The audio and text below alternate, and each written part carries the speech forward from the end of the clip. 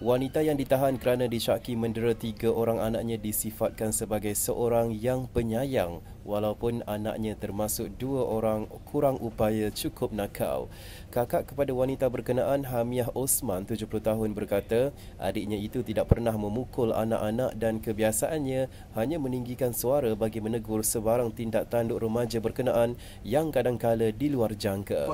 Hantar tu? Hantar tu dia tak buat. Dia- dia bukan ni, dia lari tu kaki ni. abang tu. Ha?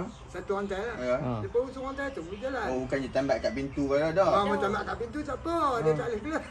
Tapi tu lah nak kencing biar payah pula. Ha. Mana lah mak dia apa nak tangkut. Yalah, Tak ada yalah. pun nak pi. Ingat aku tak apa. Ingat ada polena pada lampu semua ada polena. Ada apa-apa nak kaya jenuh juga. Ah, Cantik. Baju kau dia pandai basuh sendiri. Pandai basuh tapi kena duk kena duk pandu dia lah. Kena pandu dia. Kena ajak dia. Hmm. Ya. Lepas tu tak apa dah lama-lama tu dia pandai dah lah. Tapi apa yang kita cakap, mula kita dengar apa dia lupa. Dia Hmm. hak OKU tu, Dia dia lupa-lupa. pergi sekolah. Oh. Kalau kita tanya tu dia lama baru dia nak cerita balik kat kita. Katanya yang tinggal di sebelah kediaman adiknya di kampung LAT 1000, anak saudaranya itu memang sukar dikawal dan disebabkan itu mereka dirantai ketika adiknya pergi kerja atau ada urusan lain yang jauh.